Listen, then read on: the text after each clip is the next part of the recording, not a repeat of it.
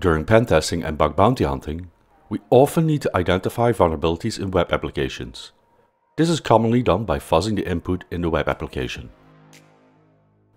While we can do this manually, one powerful tool to help us with this task is wfuzz.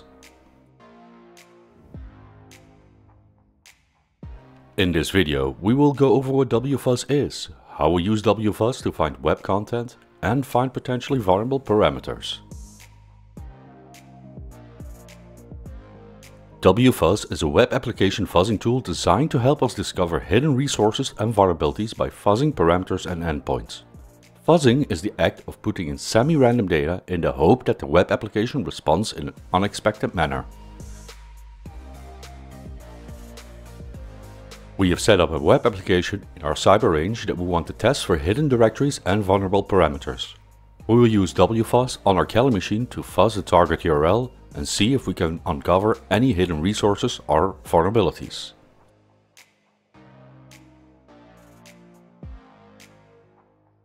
Before we proceed, you might need to install wfuzz.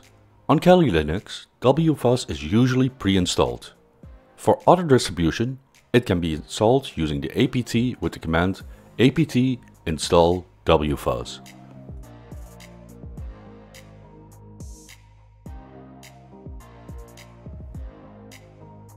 Before we get started with wfuzz, we must insist that this tool is only used on environments that you are the owner of. This means you can't use it on any public websites. If you want to learn more about how to behave in an ethical manner, pause the video and click on the card in the top right to watch the Ethics in Cybersecurity video we have made.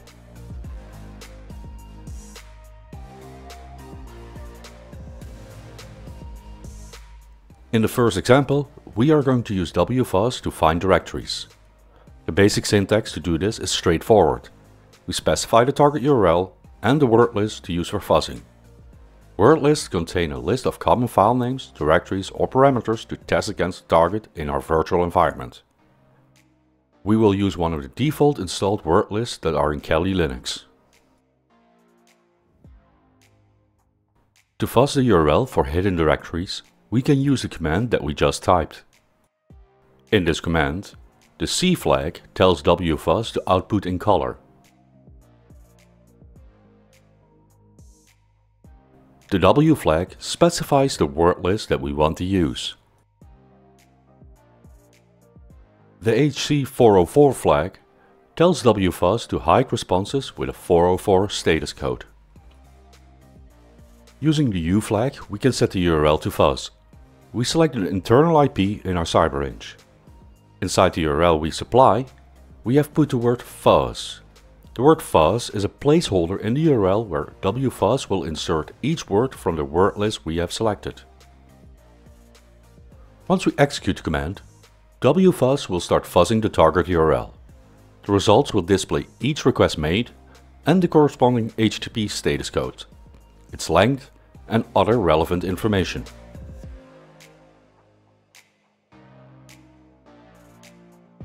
If you have any further questions or comments about what you've seen so far in this video, leave a comment and we will try to answer your question. Let's break down the output that wfuzz gives us.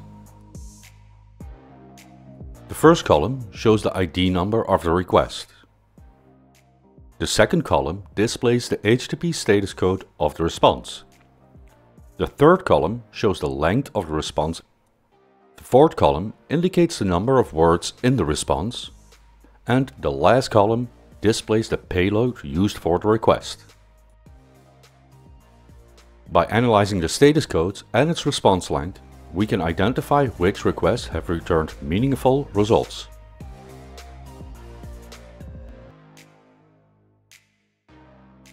wfuzz can also be used to test for vulnerable parameters.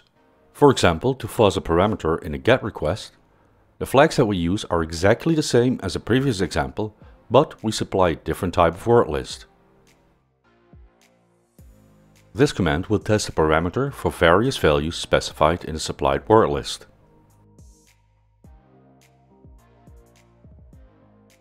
The output is similar to when we were using wfuzz to find directories and files. This time however, we are looking more to the columns where the length and the word counts are shown.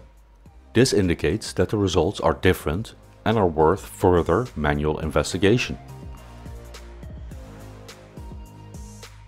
We have shown you how to use WFuzz and how to interpret the results to uncover hidden directories and vulnerable parameters.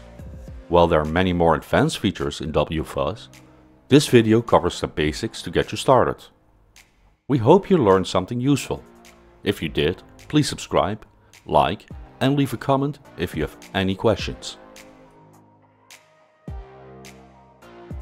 Thank you for watching and hack ethically.